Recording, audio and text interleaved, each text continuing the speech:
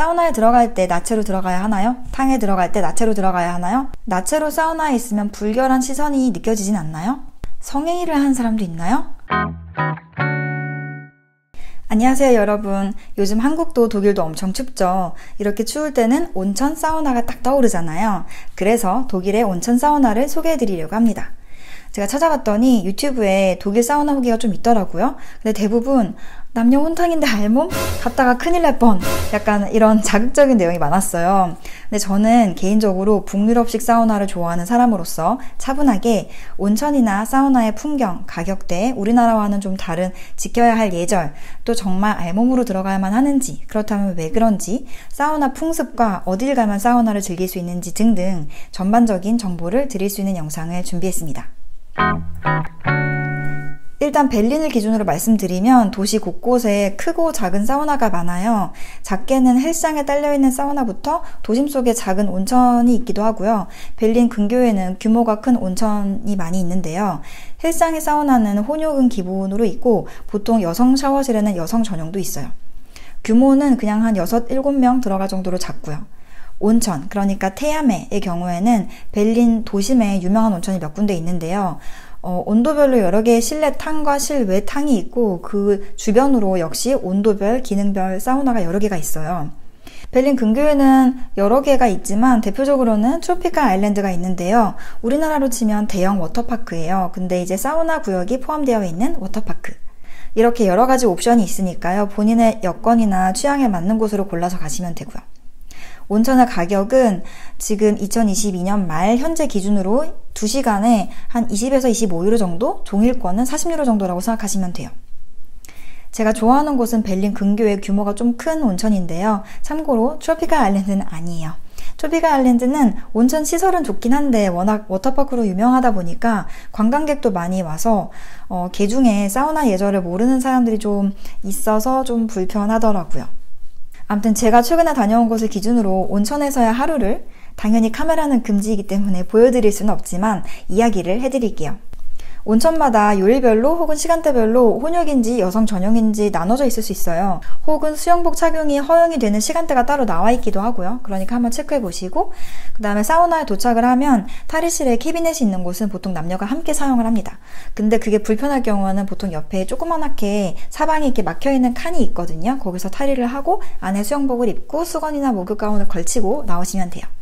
탈의 후에는 온천 구역으로 일단 가보면 온도별로 탕이 이렇게 있는데요. 탕 주변에 보통 누울 수 있는 의자, 옷걸이, 그 다음에 가볍게 샤워할 수 있는 곳이 많이 있어요. 거기다가 수건이나 물통 같은 짐을 두고 샤워를 후딱 한 후에 탕에 들어가는데요. 아쉽게도 우리나라 목욕탕만큼 물이 뜨겁지는 않아요. 왜 물에 들어가면 우리나라에서는 아이고 시원하다 이게 바로 나오잖아요. 근데 여기는 아이고 까지만 나와요. 어, 제일 높은 물 온도가 36, 7도 정도인 것 같아요. 보통 규모가 큰 온천은 실내탕과 실외탕이 이렇게 이어져 있거든요. 그래서 물속에서 실외로 나갈 수가 있는데 그러면 이제 겨울에는 얼굴은 차갑고 몸은 따뜻해서 정말 너무 좋더라고요. 어, 물속에 들어갔었으니까 이제 사우나로 가는데요. 사우나는 그냥 들어가서 앉아 있어도 되지만 아우프코스라고 하는 사우나 풍습 세레모니, 퍼포먼스를 언제 하는지 체크를 하신 후에 그 시간에 맞춰서 들어가 보시는 걸 추천해요. 사우나 안에서 음악을 틀어주고 아로마 향을 퍼트린 후에 수건이나 부채로 공기를 이렇게 곳곳으로 보내는 일종의 풍습인데요. 어떤 때는 스크럽제나 얼굴에 바를 팩 같은 걸 나눠주기도 해요. 저번에 갔던 곳의 한 사우나에서는 20분 동안 아웃코스를 했는데요. 아웃코스 시작 5분 전쯤까지는 입장을 마치고 문을 닫아요. 그 후로는 덥고 힘들어서 나가는 건 몰라도 밖에서 입장을 시도하는 거는 안에 있는 따뜻한 공기가 빠져나가기 때문에 금지예요. 사우나 예절을 모른다고 엄청 욕먹을 수도 있어요. 어, 그 다음에는 사우나 마이스터가 각 어, Aufguss의 분위기에 맞는 음악을 틀어주고 가운데 위치한 화덕에다가 물을 이렇게 뿌리면서 퍼포먼스 세레모니를 시작을 하는데요. 화덕에다가 물을 뿌리니까 그 물이 증발을 하면서 사우나 안에 습도를 조절할 수 있게 돼요. 많이 뿌리면 습식, 조금이나 안 뿌리면 건식이겠죠? 아로마 향이 들어있는 얼음 공을 화덕에다 이렇게 뿌리기도 하면서 습도를 올린 후에는 가운데 모여있는 그 뜨거운 공기를 곳곳으로 보내는데 그때 수건이나 부채 등을 이용을 해요. 이 퍼포먼스가 제법 볼만한데요. 돌아다니면서 수건을 이렇게 팡팡 털어서 뜨거운 공기를 이렇게 여기저기로 보내주는데요. 그냥 팡팡 하는 게 아니라 막, 막 이렇게 굉장히 현란하게 묘기를 부리는 것처럼 해주는 사람들도 있고, 그냥 커다란 부채로 슬슬 이렇게 부채질을 해주는 사람도 있고, 꽤나 다양한 편이에요. 음악의 박자에 맞춰서 이렇게 걸으면서 부채질을 이렇게 해주기도 하고요. 어느 정도 열이 올랐을 때에는 잠깐 쉬는 시간을 가졌었는데요. 사우나 밖으로 나갔더니 천연 소금을 주는 거예요. 그 소금을 몸에 이렇게 문질러서 스크럽을 하라고 하더라고요. 그래서 스크럽을 하고 다시 사우나 안으로 들어가서 비슷한 방식으로 2차 아웃코스를 하고 끝났습니다. 밖에 나오니까 그렇게 상쾌할 수가 없고 좋더라고요. 땀을 많이 흘렸기 때문에 수분 보충이 굉장히 중요하죠. 물을 많이 마신 후에 이제 샤워를 간단하게 하고 야외에 있는 탕에 들어가서 밤하늘도 보고 증기 때문에 안개가 자욱한 것처럼 보이는 그런 분위기도 즐기고 또 무엇보다 스크럽을 해서인지 피부가 너무 부드러워져서 진짜 너무 좋았어요. 자, 이제 대략 독일에서는 온천과 사우나를 어떤 식으로 즐기는지 알았으니까 여러분들이 많이 궁금해하실 나체 혼욕에 대해서 이야기를 해볼게요. 사우나에 들어갈 때 나체로 들어가야 하나요? 네. 탕에 들어갈 때 나체로 들어가야 하나요? 아니요. 온천장마다 다르지만 보통은 수영복 정도는 허용됩니다. 나체로 사우나에 있으면 불결한 시선이 느껴지진 않나요? 보통은 안 그렇습니다. 성행위를 하는 사람도 있나요? 아니요. 그럼 쫓겨나요.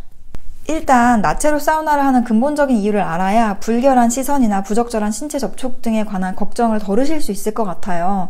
그 이유는 위생, 건강, 그리고 배려입니다.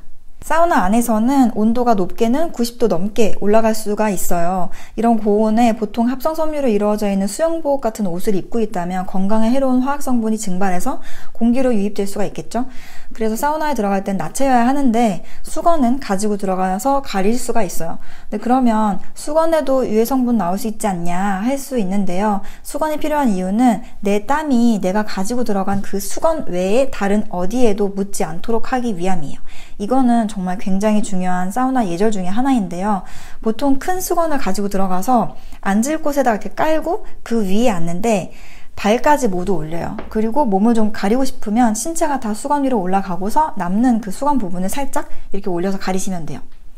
사우나 안에서 땀을 아무래도 많이 흘리게 되다 보니까 서로에게 땀을 튀게 하지 않는 게 위생을 위해서 굉장히 중요해요. 사우나 마이스터가 Aufguss 퍼포먼스를 할 때 종종 사람들이 격려에 박수를 이렇게 치기도 하는데요. 저번에 갔던 사우나에서는 박수 칠 때 옆 사람한테 땀 칠 수 있다고 박수 치지 말라고 하는 사람이 있을 정도로 땀에 예민합니다. 또 중요한 예절은 사우나 안에서 시끄럽게 하지 않는 것. 또 다른 사람의 신체를 쳐다보지 않는 것입니다. 사우나를 위생적으로 즐기러 간 것이 나츠를 감상하러 간 게 아니기 때문에 시선 처리 정말 조심하셔야 돼요. 이런 것에 익숙해지면 나체 사우나가 오히려 더 위생적이고 안심되고 편하다고 느껴지실 수 있을 거예요. 사우나를 즐기는 사람들의 연령대는 아무래도 사우나라는 그 뜨끈해서 몸의 피로가 확 풀리는 게 필요한 연령대가 10대나 20대 초반은 아니잖아요. 그래서 아무래도 20대 후반 이후부터 노인 연령까지가 많은 것 같은데요. 좀 온천의 시설이 깔끔하고 인테리어가 뭐 감각적이다. 이러면 젊은 층도 정말 많이 오고요. 어, 가족 단위는 어디든 많이 있어요. 이번에는 온천, 사우나를 갈 때 챙겨가야 할 준비물들을 좀 알아볼게요. 일단 어, 커다란 수건 꼭 있어야겠죠? 그 수건으로 가리고 다녀야 하기도 하고 사우나에 들어가면 그 위에 앉아야 하니까 그 다음에 어, 물에 젖지 않는 신발, 쪼리 같은 거 갖고 가셔야 하고, 그 다음에 정말 중요한 거 물통. 수분 섭취가 정말 중요하잖아요. 근데 사우나 안에서 이제 원하시면 물을 사서 드실 수도 있겠지만, 물을 많이 마시다 보면 그 금액이 좀 만만치 않거든요. 그래서 저는 그냥 물통을 들고 가요. 그리고 이제 독일의 수돗물은 안전하기 때문에 그냥 그렇게 수분 섭취를 합니다. 그리고 또 중요한 것은 수영복. 이제 밖에서 다닐 때 다들 뭐 입고 있는데 나만 나체로 있으면 좀 그렇잖아요. 그러니까 수영복. 그리고 또 하나는 도시락. 그러니까 이거는 사우나나 온천마다 다를 수도 있어요. 규칙이. 근데 제가 가는 곳은 외부 음식을 가지고 들어갈 수 있게 되어 있거든요. 물론 먹는 그 장소는 이제 정해져 있지만 어, 그래서 저는 도시락을 집에서 싸서 저번에는 이제, 어, 점심쯤에 가가지고 저녁까지 쭉 있었거든요. 종일권을 가지고. 그래서 제가 싸가지고 도시락 먹고 물통에 물 이렇게 먹고 했더니 이제 입장료 외에 다른 돈을 지출할 필요가 없더라고요. 네, 이렇게 온천, 사우나 예절부터 즐기는 방법 등 전반적인 이야기를 해봤는데요. 사우나 너무 좋아하는데 마트로 가야 한다면, 음, 이상해, 변태 있는 거 아니야? 혹은 부끄러워, 이런 고민 때문에 망설이셨다면 이제 고민이 해결되었을 테니까요. 우리나라와는 다른 유럽의 온천과 사우나를 체험해 보시고 즐기셨으면 좋겠습니다. 그럼 추운데 건강 조심하시고 다음 영상에서 뵐게요. 치즈!